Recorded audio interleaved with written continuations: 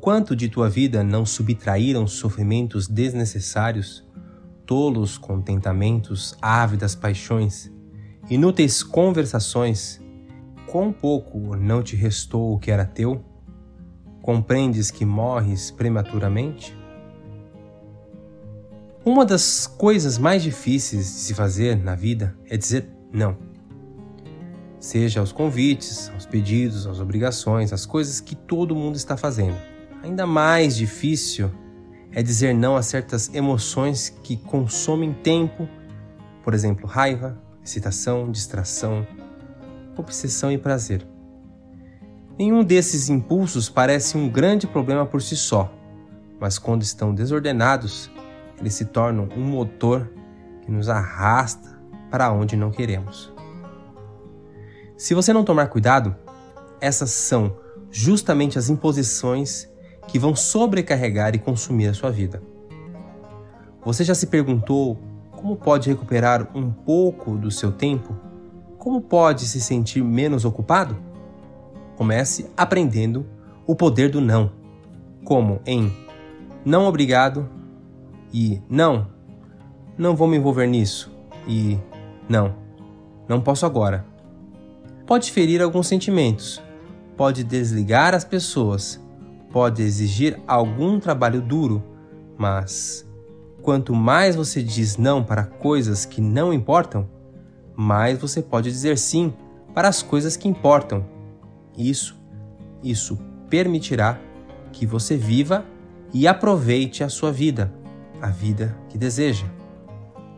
Olá, eu sou Paulo Rafael e nessas quatro lições do Estoicismo iremos refletir sobre o que pode ser realmente essencial na vida. Nesse exato momento, há duas coisas realmente essenciais. A primeira, dar um joinha no vídeo. A segunda, ir no link da descrição para colocar a filosofia como estilo de vida. Vamos às lições. 1. Um, uma pessoa que não sabe o que é o universo, não sabe onde está. Uma pessoa que não conhece seu propósito na vida, não sabe quem ela é ou o que é o universo. Uma pessoa que não conhece nenhuma dessas coisas não sabe por que está aqui. Então, o que fazer com as pessoas que buscam ou evitam o elogio daquelas que não sabem onde ou quem são? O falecido comediante Mitch Hedberg teve uma história engraçada que contou no seu show. Ele estava sentado para ser entrevistado num programa de rádio quando o âncora soltou logo de cara essa primeira pergunta para ele: Então, Mitch, quem é você? Naquele momento, ele teve que pensar e se perguntou: Nossa, esse cara é realmente profundo ou eu estou no lugar errado? Com que frequência nos fazem uma pergunta simples como quem é você ou o que você faz ou de onde você é? Considerando-a a uma pergunta superficial, se é que a consideramos, não nos preocupamos com mais do que uma resposta superficial. Na verdade, a maioria das pessoas não conseguiria dar uma resposta à altura. E você, poderia? Você já teve tempo para obter clareza sobre quem você é e o que você representa? Ou você está muito ocupado perseguindo coisas sem importância, imitando as influências erradas, seguindo caminhos decepcionantes, insatisfatórios ou inexistentes?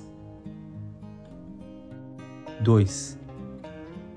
O trabalho adequado da mente é o exercício da escolha recusa, anseio, repulsa, preparação, propósito e consentimento.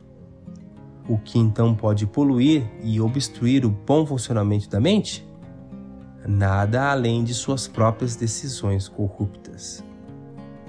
Vamos detalhar cada uma dessas sete tarefas. Escolha entre fazer e pensar o que é certo. Recusa de tentação que me tira do objetivo da vida e do dia. Anseio de ser melhor. Repulsão da negatividade, de más influências, do que não é verdade. Preparação para o que está por vir ou o que quer que possa acontecer. Propósito: nosso princípio orientador da vida e de cada ação. Assentimento: estar livre de enganos sobre o que está dentro e fora do nosso controle. Isso é o que a mente está aqui para fazer. Devemos nos certificar de que sim e ver tudo mais como inútil. 3. Devemos sacrificar muitas coisas às quais somos viciados, pensando que são bens. A coragem desaparece, que deve ser continuamente testada. Desaparece a grandeza da alma, que não pode se destacar claramente a menos que tenha aprendido a desprezar como trivial tudo que a multidão cobiça como surpreendentemente importante. O que consideramos como hábitos simples pode facilmente se tornar vícios completos. Começamos com o café da manhã e logo não podemos começar o dia sem ele. Verificamos nosso e-mail porque é parte importante do nosso trabalho e logo sentimos o zumbido fantasma do telefone em nosso bolso a cada poucos segundos. Em breve, esses hábitos inofensivos estão esgotando nossas vidas. As pequenas compulsões e impulsos que temos não apenas destroem nossa liberdade e soberania, mas também obscurecem nossa clareza. Achamos que estamos no controle, mas estamos mesmo? Como disse um viciado, vício é quando perdemos a liberdade de nos abster. Vamos recuperar nossa liberdade. Que vício é esse? Isso pode variar para cada pessoa. Pode ser refrigerante, drogas, reclamação, fofoca, a internet, roer as unhas, mas você deve recuperar a capacidade de se abster, porque dentro dela está sua clareza e autocontrole. Antes da última lição, chegou o momento de você ter a coragem de iniciar um caminho sério para trilhar bons hábitos e sair dos vícios. Para isso, é preciso entender que investir em si mesmo é o melhor investimento para a sua vida e para aqueles que você ama e estão perto de você. Você está preparado para isso? Se sim, vá agora. Clique no primeiro link da descrição. Comece agora a colocar as lições da filosofia em prática, com a filosofia com estilo de vida. Lá eu, professor Paulo Rafael, te explicarei de forma simples e fácil como, mesmo sem saber nada de filosofia, você pode começar um caminho filosófico e obter bons hábitos. Vamos à última lição.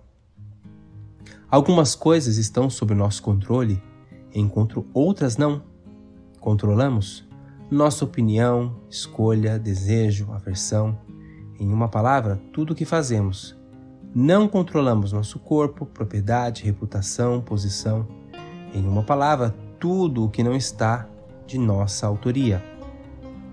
E ainda mais, as coisas sob nosso controle são por natureza livres, desimpedidas, desobstruídas, enquanto aquelas que não estão sob nosso controle são fracas, servis, podem ser impedidas e não são nossas. Hoje, você não controlará os eventos externos que acontecem. Isso é assustador? Um pouco, mas é equilibrado quando vemos que podemos controlar nossa opinião sobre esses eventos. Você decide se eles são bons ou ruins, se são justos ou injustos. Você não controla a situação, mas controla o que pensa sobre ela. Veja como isso funciona. Cada coisa que está fora do seu controle, o mundo exterior, outras pessoas, sorte, que quer que seja, ainda apresenta uma área correspondente que está sob seu controle. E isso, por si só, nos dá muito para gerenciar, muito poder. O melhor de tudo é que uma compreensão honesta do que está sob nosso controle fornece clareza real sobre o mundo. Tudo o que temos é nossa própria mente. Lembre-se de que hoje, quando você tentar estender seu alcance para fora, é muito melhor e mais apropriadamente direcionado quando se foca para dentro. Não se esqueça de clicar aqui para colocar a filosofia como estilo de vida. Nos siga no Instagram para mais conteúdos. Um grande abraço e até breve.